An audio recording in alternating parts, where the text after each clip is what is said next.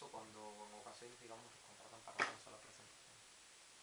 Bueno, eh, para que tenga un contrato laboral necesariamente tiene que cumplir, ¿no? Que son las 8 horas y, o 48 horas semanales, ¿no? 8 horas diarias o 48 horas semanales. En caso de que se haga una sola presentación ya no estaríamos hablando de una relación laboral, sino de una relación civil, una prestación de servicio.